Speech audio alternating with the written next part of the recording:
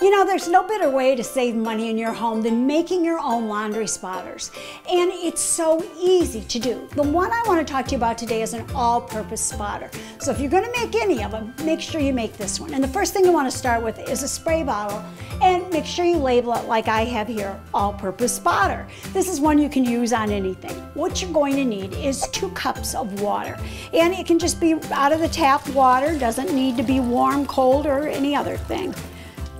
And then we're gonna take one cup of rubbing alcohol. Now this is just the regular stuff you buy at the drugstore.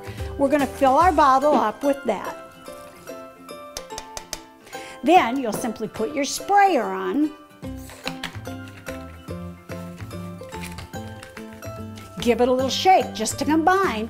And on any kind of stains that you have, you can use this just as you would any store-bought one.